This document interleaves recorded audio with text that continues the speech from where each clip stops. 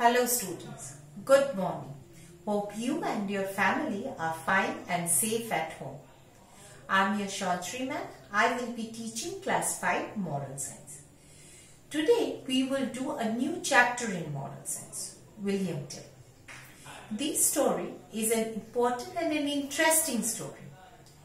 It, the story is about William Tell, who was a fine archer but before starting with the story, let me tell you that today's video is connected to the lesson plan of 12th of August which you will be able to view on the video gallery of the school website after 48 hours.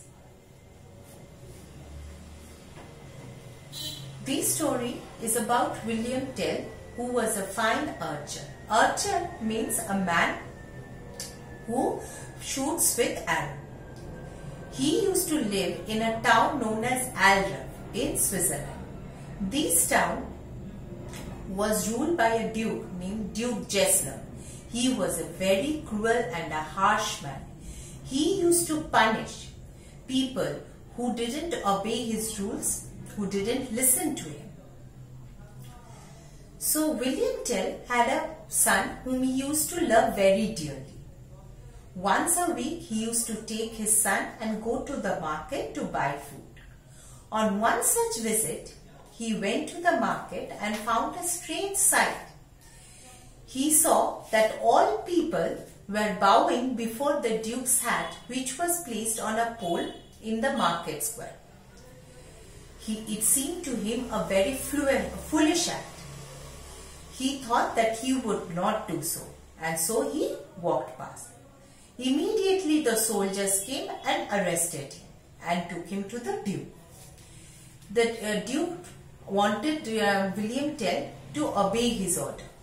But William Tell told that it was a foolish thing and so he, he can't do this. So the duke told that he would leave William Tell only if he would cut an apple which would be placed on his son's head into two pieces with his arrow. At first, William Tell felt very afraid. But his son encouraged him and said that since he was a fine archer, archer he would be able to do it in a better and successful way. Now William Tell took his bow and arrow and aimed at the apple. Uh, there was total silence in the crowd. Then, after a moment, there was huge cheer in the crowd.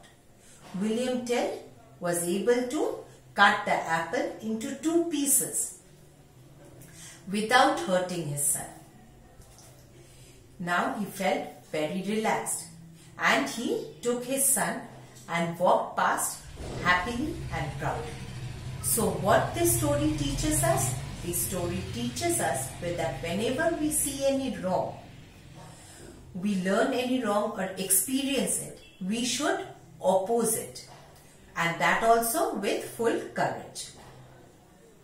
So you will do the question answers and the worksheet in your moral science exercise book. In the next week, we will do a new chapter or we will revise this chapter. Till then, stay safe and fine at home. Always use a hand sanitizer. Wear mask at home. Stay fit and healthy. Thank you and goodbye.